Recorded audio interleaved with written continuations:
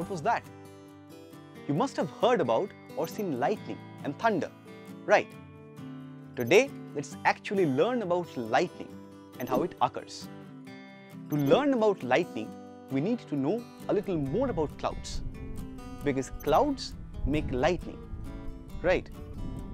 During summers, the ground is hot and it heats the air above it. This warm air rises. As the air rises, the cold temperatures at the highest cools the water vapor down which forms a cloud. As more and more air continues to rise, the cloud gets bigger and bigger. If the temperature at the top of the clouds falls below the freezing point, the water vapor turns into ice. Now, the cloud becomes a thundercloud. Lots of small bits of ice bump into each other as they move around. Can you guess what would happen because of this motion?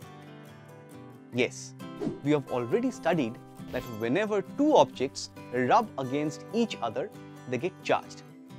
So even here, clouds develop an electric charge.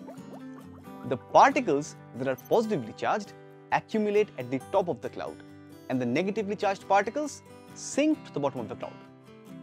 The more the ice particles rub against each other, the more the cloud gets charged. As I mentioned, there are huge accumulation of charges at the bottom of the cloud. This very strong negative charge repels the electrons on the surface of the ground and makes the ground positively charged. Since these charges are oppositely charged, they should attract each other and make each other neutral, right? Then why does that not happen? That is because there is air between these particles.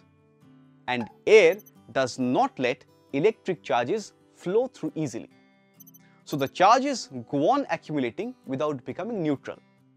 When the magnitude of the accumulated charges becomes so large that it can overcome the resistance of air, they get discharged suddenly. This discharge may take place in between clouds or between the cloud and the earth. What would happen when the electric discharge takes place between the cloud and the earth? There is a negative charge in the cloud and the positive charge on the earth.